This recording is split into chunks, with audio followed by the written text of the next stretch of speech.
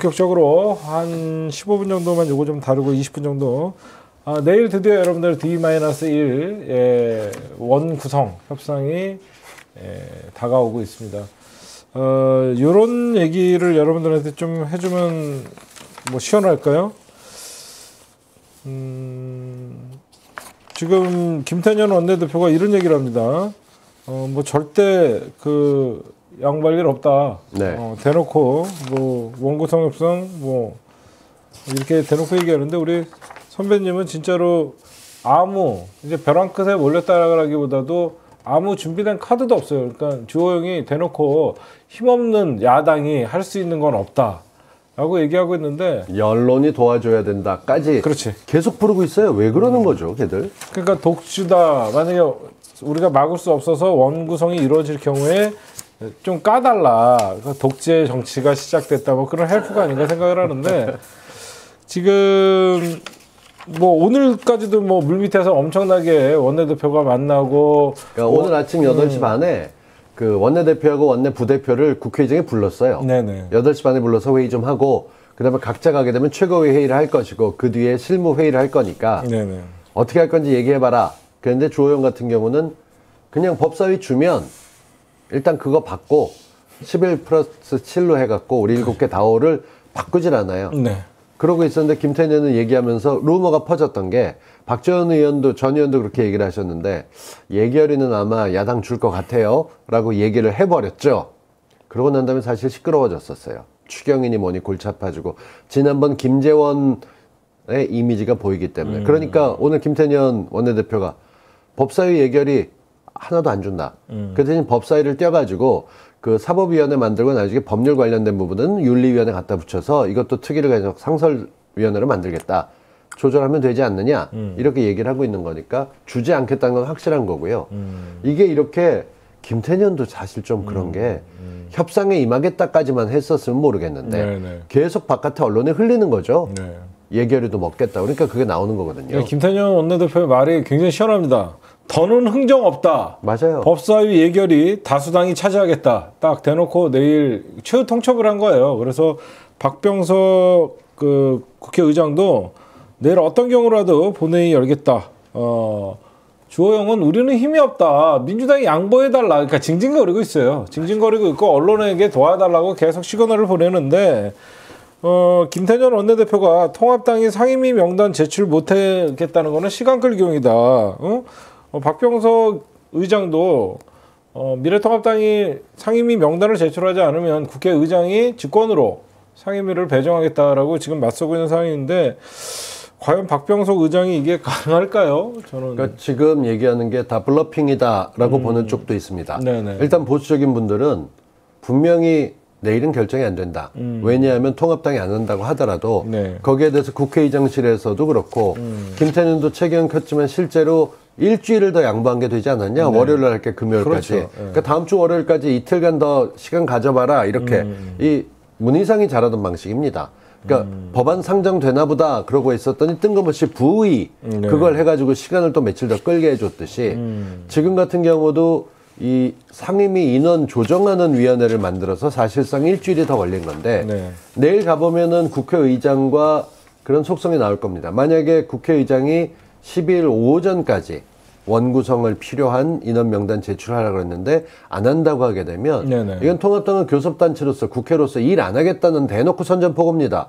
국회의장은 안 하면 직권으로 하겠다까지 했으니까 국회의장단의 모습이 나오겠죠. 네. 그렇게 돼서 만약에 지금 김상희 부의장하고 정진석은 부의장은 아니기 때문에 임명받는 것도 있고 지금 국회 개원식도 못하고 있는 상황에서 상임위가 나가게 되면 내일 지정이 되면 내일 2시쯤 저희가 내일 정치 클리핑 하면 네, 저희가 내일은요 중요한 날이기 때문에 정치 클리핑을 낮 2시에 예, 저희가 할 수 있으면 바로 하도록 하겠습니다. 왜 그러냐면 저는 이런 생각을 해요. 어, 민주당의 김태년 대표나 그 이해찬 대표는 법사위 예결위를 줄 마음이 없더라고요. 그럼요. 양보하면 우리가 이건 국민적 배반이라고 이미 생각을 하셔서 확고하시래서 확고한 생각을 갖고 있어서 그럼 법사위랑 얘기를 갖고 왔다고 치고요. 11대 7이 맞는 겁니까? 만약에 하면 굳이 쟤네들한테 7개를 줄 필요가 있어요? 그러니까 나는 왜 그래야 되는지 저희가 할 수 있는 거는 네. 그 전까지 좀 다르게 보면 주고 받는 딜을 할 경우에는 음. 11대 7이든 12대 6이든 뭐 15대 3이든 줄 수 있습니다. 네. 그게 원내대표들끼리 해왔던 관례고 집어넣는 건데 문제는 이 관례를 지켜야 된다고 상대가 판을 깨고 있다면 방법은 하나밖에 없습니다. 국회에서 유일하게 통용되는 규칙은 다수결입니다. 그렇죠. 투표하는 거죠. 그럼 각 상임위원으로 위원이 배정이 되게 되면 우리 반장 선거도 반에 학생들끼리 투표하지 않습니까? 네네. 다 그런 식으로 각 상임위원회별로 투표를 할 겁니다. 그러면 여기는 우리가 민주당이 많지만 뭐 통합당의 위원장을 주자 이런 얘기가 나올 수 있을까요? 저는 국회에 가 보면은 선수가 있고 나이도 있고 여러 가지 사석에서는 하지만 가장 빛나는 게 당입니다. 당끼리 서로 어떻게 투표하느냐에 따라서 자기네에서 내부 위원장을 하자는 사람인데 겸양의 믿어 아 이번에 형님이 하세요 이건 사석에서나 가능하죠. 네네. 만약에 원구성이 강제로 국회의장에서 되게 되면 우린 처음으로 18석을 다 가져갈 수 있습니다. 어차피 꼬리표는 독단적으로 결정해서 단독으로 원구성했다라는 게 21대 국회 내내 전반기에는 돌아다닐 겁니다.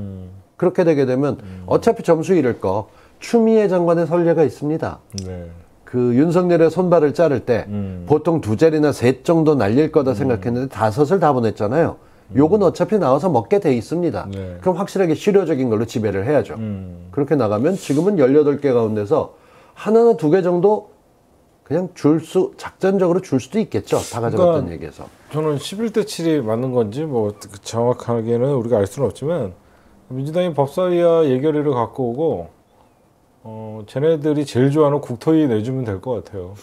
돈 되는 부처, 어. 거기서 예산 따먹게 하는 거. 그 국토위 내주면 뭐 80몇 석밖에 안 되는 지역구 의원들이 어, 서로 국토위원장 차지하려고 옛날에 박, 박순자 하는 집 봤잖아요. 그 1년 만에 나가라고 나경원이 한밤중에 찾아왔었다. 그렇죠. 뭐 저승사자 같았다 얘기하지만 그 자리가 그렇게 괜찮은 자리입니다. 근데 지금 지역구 유지하기는 가장 좋은 자리죠. 최고죠. 네. 그렇기 때문에 1순위가 국토위가 많습니다. 음, 대부분 국토위가 많고. 1순위인데 그리고 지금 같은 경우는 복지위원회에 가게 되면 뭔가 생색을 낼 수 있습니다. 그렇죠. 산자위는 늘 어디나 괜찮은 쪽이고. 그렇죠. 그러니까 그런 쪽들에 대해서 이렇게 얘기하면 진짜 하나도 내줄 데가 없어요, 그렇죠? 그러니까요. 저는 세 개쯤 내주자 할때 제가 어렵게 골랐던 게 아직 도시 지역에 수도권에 사시는 분들이 많기 때문에 농해 수위는 제가 내줄 생각이 있다고. 그쪽은 전략이나 정책 면에서 통합당하고 민주당하고 그렇게 많이 차이가 나지 않습니다. 어차피 그럼 살려야 되는 쪽이니까 네, 네. 그쪽은 그렇다고 나가고 나머지 것들은 주기가 참 애매한 게 많아서 저는 17대 1 정도도 좋고요. 네, 네. 그냥 15대 3 정도면 우리가 많이 양보했다가 될 건데 이게 투표로 가게 되면 달라질 겁니다. 투표로 가면 18대 0 나올 수밖에 없는 상황인데 그럼요. 어, 저는 그, 것도 볼만할 거라고 봐요. 그러니까 그렇게까지 주호영이나 얘네들이 히든 그렇게 되면 뭐- 진짜 무능한 겁니다. 제가 좀 취재를 해봤어요. 이- 이쪽 관계자들한테 너네 뭐 있냐? 뭐 있는데 니들 이렇게 버티고 있냐? 어? 얘네가 뭘 하냐면 저 공수처 카드를 마지막으로 쓰려고 그러더라고요. 이미 실제로 썼고 그러니까 여기에 무슨 공수처 카드인가 했더니 공수처장 임명권을 어느 정도 협상력을 통해서 그러니까 지금 미래통합당이 반대하면 공수처장 임명 못 하잖아요.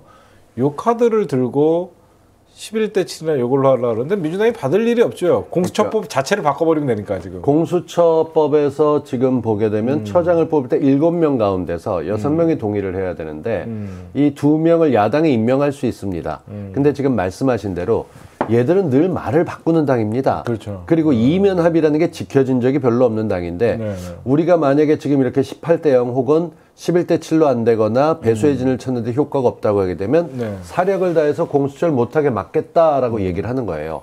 근데 거기서 다들 사람들이 얘기하는 게 그렇게 해요. 근데 얼마든지 해도 좋은데 음. 지금 이쪽에서 문 열고 세부 법령 가운데서 문제되는 부분들이 있으니까 네, 네. 협조를 하겠다고 하지만 그 법 자체를 바꿔버릴 수도 있어요라는 얘기를 공식적으로는 안 합니다. 음. 근데 비공식적으로는 그 법을 바꾸면 되는 거잖아. 공수처법을 지금 사실 바꾸면 돼요. 야당 뭐 당이 많지도 않은데 국회의석 배정대로 한다든가 음, 그렇죠. 뭔가 실효적인 조항으로 합리적으로 바꾸게 되면 충분히 가능합니다. 이 공수처법, 공수처법 자체가 막판에 4 플러스 1로 할 때 국민의당의 권은이나 이런 사람들은 누더기가 된 면이 없잖아 있거든요. 맞아요. 그렇고 지금 공수처 법안도 사실상 이대로 통과시키는 것보다는 어느 정도 원안대로 처음에 민주당이나 민주 어, 시민들의 요구대로 공수처장의 임명을 다수결로 한다든가 일곱 명 중에 뭐, 뭐 4대 3 투표로 과반 이상으로 한다든가 뭐저 이런 것들을 합리적으로 좀 바꾸는 것도 필요하다고 생각해요. 저는 그렇게 하는 것들이 음. 분명히 뒷받침이 될게 지금 같은 경우 어차피 모든 걸 다 책임지게 되게 되면 음. 앞으로 2년간 문재인 정부와 민주당이 잘했다 못했다 모든 책임을 지게 됩니다. 저희는 그런 것도 필요하다고 보거든요. 그렇죠. 예. 통합당이 없으니까 나라가 더 발전했고 잘 됐다 소리 듣게 되면 걔들 정체성 혼란 옵니다. 음. 그러니까 우리 민주당 지지자분들이 여기 대부분이 우리 시청자분들인데 여러분들 어, 비판을 민주당에게 하실라 그러면요 내일 이후에 하세요. 아직 뭐 아무것도 시작도 안 하고 그랬는데 뭐 질질 끌려다니니 이거는 정치의 어떤 협상의 지금 하나의 서로가 명분을 쌓는 일이고요. 내일 이후에 민주당이 어떤 더딘 발걸음이나 아니면 어, 여러분들이 요구하고 있는 국민과 협치를 해야 되는데 미래통합당과 협치를 논할 때 그때 비판을 하셔야 되지. 아직 아무것도 안 했는데 벌써부터 민주당 똑바로 해라. 민주당 뭐 물론 어, 사랑의 회초리라고는 생각하지만 내일 비판을 해도 내일 이후에 하십시오 원 구성을 여러분들이 생각하는 것 같이 법사위를 뺏겼다든지 아니면 예결위를 못 갖고 왔다든지 그럴 때 비판을 하셔야죠 아마 비판은 어, 문을 늦게 연다라고 생각하게 되면 오후에 그렇죠. 국회를 열게 될 텐데 음. 안 열면 문제가 생기겠죠. 음, 그러니까 내일 뭐 또 시간이 delay 돼 갖고 12일에서 며칠로 연기되면 민주당 왜 질질 끌려가냐. 그건 욕먹어도 되죠. 그건 욕먹어야 되고 민주당이 어떤 감수해야 되는 부분인데 어떻게 보면 국회 민주당만 물론 민주당 출신의 박병석 국회의장이 있지만 국회의장도 무소속이에요. 무소속이기 때문에 국회의장과 여야 원내대표의 합의도 굉장히 중요한 그럼요. 상황이기 때문에 어, 또 국회의장을 무시하고 민주당이 독단적으로 밀어붙였지만 밀어붙이다 보면 아무리 민주당 출신의 국회의장이라 그래도 권위를 침범한다고 생각하면 당연하죠. 국회의장 입장에서는 굉장히 민주당 같은 정당의 소속이지만 그거에 대해서는 또 반감이 들 수 있기 때문에 조율이 피다, 필요하다 이렇게 좀 여러분들 말씀드리고 싶어요. 하나만 짚고 넘어가면 요즘 기레기들 기사 쓸 때 확인 잘 안 합니다. 민주당이 여전히 180석이라고 적는 데도 있고 177석이라고 적는 데도 있는데 정확히 하면 176석이죠. 맞습니다. 박병석 의장이 반납했기 때문에 176석으로 난 최소한 그런 기사들 읽어보시면 제대로 보실 텐데 당대표 싸움 붙이려고 하고 독주한다는 식으로 왜곡하는 기사들에 속지 마시기 바랍니다. 음, 뭐 내일 뭐 국회가 열릴지 몰리- 못 열릴지는 저는 국회 의장의 그럼요. 의지라고 생각합니다. 그래서 어, 일단 민주당 김태년 원내대표는 어, 절대 뭐 불가 방침을 얘기하고 있고 이제 여기서 마지막으로 우리가 하나 좀 짚고 넘어갈 게 법사위가 문제예요. 어, 근데 법사위원장이 문제가 아니라 민주당의 법사위원 구성이에요. 제가 알기로는 법사위원이 18명으로 알고 있거든요. 그래서 아마 이번 21대 국회에서는 아마 민주당 10, 뭐 미래통합당 6, 의원이 없어요 저쪽에. 네. 6 그다음에 뭐, 뭐 소수 정당들 해갖고 18명이 구성이 될 것 같은데 제가 좀 또 취재를 해보니까 김남국 의원이나 최강욱 의원을 법사위에 배정을 안 하려는 움직임들이 있더라고요. 김남국 의원 같은 경우는 본인이 어떻게 희망을 하건 상징적인 게 있지만 민주당 내에서 후반기에 가라라고 조정이 될 수도 있습니다. 음, 전후반기는 안 와서? 네. 음. 뜨거운 감자가 될 거는 뭐 이런 거죠. 이를테면 조국 논쟁거리에 돼 있는데 거기에서 당사자면서 밀어내려는 언론이나 음. 법사를 가져가면서 희생해야 될 부분이다라고 얘기를 하고 있는데 음. 최강욱 의원 같은 경우는 지금 그 법사위에 배정 받느냐 안 받느냐는 민주당 의견이 아닙니다. 그건 국회의장 몫입니다. 근데 민주당 출신의 국회의장이니까 어느 정도. 민주당의 그러니까 힘이 예. 그래서 최강욱을 받지 못하게 됐다라고 하게 되면 음. 벌써부터 욕하실 분들이 계세요. 민주당이 쫓아냈다, 음. 뭐 두려워한다 얘기하는데 정확히 말씀드리면 센 당 대표긴 하지만 초선을 두려워하는 그런 의원들은 없습니다. 그리고 그렇죠. 법사위에서는 전부 다 n분의 1로 나가기 때문에 음. 화력이 세다 하더라도 그건 청문회 때의 화력과 법사위 평소에 나갈 때는 다릅니다. 그러니까 그런 부분에서 의도가 있다라고 폄하하기에는 벌써부터 시작도 하기 전에 그러니까 명단 나가는 것들 보면서 왜냐하면 최강욱 대표가 국회의장을 마- 접견해서 소수 정당들은 전문성을 살릴 수 있게 배려해달라 얘기했고 국회의장 그래 그럴만 하다라고 얘기를 했습니다. 근데 그 전때 국회에서도 정말 엉뚱한 데겠다가 서로 양해 구해서 사보임으로 옮겨가면서 제 위치를 받았던 적이 있습니다. 네, 네, 네. 그러니까 그런 거 보게 되면 저는 조금 더 기다려 보시면 될 것 같고 내일 원구성이 되면 이것도 좀 행복한 얘기가 될 건데 벌써부터 제 주변에서 요즘 보면 원구성 안 돼 갖고 민주당 욕하길 기다릴 것 같은 그런 댓글러들이 굉장히 많아요. 음, 저도 그런 눈, 눈치가 좀 보이죠? 예. 그 그들은 뭐 때문에 그렇게 민주당을 욕하면 자기네들이 뭐가 생기는지 모르겠는데 음. 벌써부터 그럴 줄 알았어를 써놓고 준비하는 사람들이 있는 것 같으니 이런 사람들은 좀 조용해졌으면 좋겠습니다. 정말. 음, 지금은 민주당을 욕할 때가 아니라 민주당이 더 힘을 받고 21대 국회를 주도권을 주고 개혁 입법을 추진하는데 우리가 힘을 밀어줘야 될 거라고 생각하고 일단은 제가 좀 알아보면 김영민은 갈 수 있을 것 같아요. 김영민 변호사. 네, 김영민 변호사는 좀 갈 수 있을 것 같은데 김남국 변호사랑 최강욱 의원이 좀 꼭 좀 전 갔으면 좋겠습니다. 왜냐하면 우리 선배님이 말씀하셨듯이 하반기 국회도 있지만 왜이 전반기가 중요하냐면 하반기는 선거가 있어요. 대선이 있어요. 대선이 걸려 있기 때문에 민주당이 선뜻 어떤 개혁이나 그런 거를 좀 밀어붙이기 힘들어서 21대 국회 어, 6월부터 12월까지가 사실 어, 개혁의 적기예요. 그때 내년부터는 대선 1년 전이기 때문에 어, 뭐 민주당이나 미래통합당이나 할 것 없이 바짝 엎드려야 됩니다. 그래서 개혁보다는 외연 확장의 어떤 정책을 펼칠 수밖에 없기 때문에 개혁을 하려면 지기가 지금이 적기이기 때문에 저는 좀 누구보다도 어, 아까 말씀하셨듯이 조국이 부담스럽다는 그런 뉘앙스보다는 조국은 어떻게 보면 어, 이 검찰 개혁과 이 가장 중요한 우리 시대적 화두를 던지고 몸으로 막은 분이라서 그를 지우기보다는 조국이 왜 그렇게 당해야만 했는지를 좀 기억해서 민주당도 조국 지우기가 아닌 에, 조국의 뜻을 이어서 법사위도 어, 좀 강한 개혁적인 성향의 어, 국회의원들이 좀 많이 배치됐으면 좋겠는데 또 딜레마가 뭐냐면 이번에 민주당 국회의원들이 너무 많이 당선되다 보니까 46명이에요. 법사, 변- 어, 검- 변호사, 판사, 검사 출신이 46명이다 보니까 이분들도 다 훌륭해요. 개개인 보면. 그러니까 박범계 의원이 법사를 신청을 안 했었다니까요 처음에 그러니까요. 음. 1순위가 아니었던 게 다들 법사위원장 후보라고 얘기하는데 아우 난 이렇게 붐비면 딴 음. 데 가지 뭐 이렇게 얘기할 정도로 여유가 있는 든든한 후배들도 많지만 음.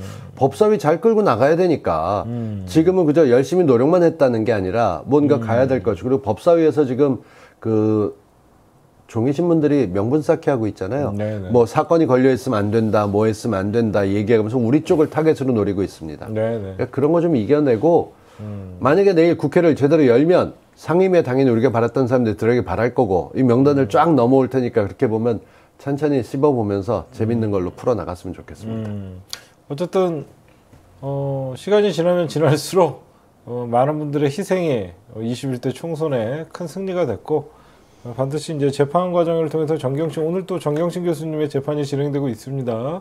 저희 내일 정치 오아시스에서는 오늘 재판을 어, 면밀히 분석해서 우리 곽동수 선생님 그리고 장영진 기자님, 어, 김태현 기자님, 신유진 변호사님 어, 이렇게 저희가 또 내일 오늘 공판은 내일 저희가 심층 분석을 통해서 하나하나 어, 직관 후기 및 어, 검찰의 논리 그리고 변호인단의 논리 예, 저희가 내일 저녁 8시에 정치 오아시스에서는 어, 면밀하게 분석을 좀 해드리도록 하겠습니다. 네 오늘 방송 어, 이렇게 하면 내일이 정말 중요한 디데이다 여러분들 기대가 되시죠? 선거 전날만큼 더 기대가 되는 날이 바로 내일 상임위 구성이 아닌가 생각합니다. 아니 우리 크게 이기지 않았어요? 그렇죠. 왜 하루하루가 이렇게 버거워?